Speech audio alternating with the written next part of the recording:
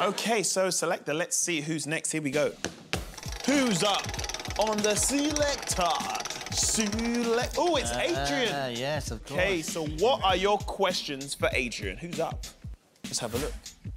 Hiya, Martin Compston here, coming at you from a random hotel room. Is it true that during one of our epic line of duty interview scenes, in which I was delivering TV gold, you fell asleep? So it's your pal there, Yeah. That's a your tricky one. Your pal Martin And, Compston, uh, and let's see who is asking the second question. Hello there, Adwa, or as you're better known to everyone else, the gaffer. My question to you is who's your favourite? Me or Martin?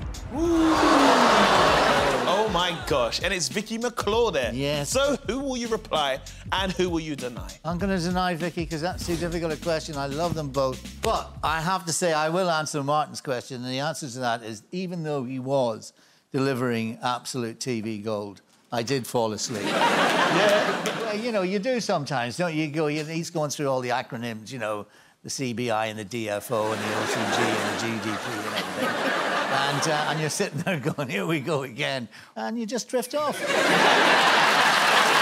Guys, please give up to Martin and Vicky. Show them some love.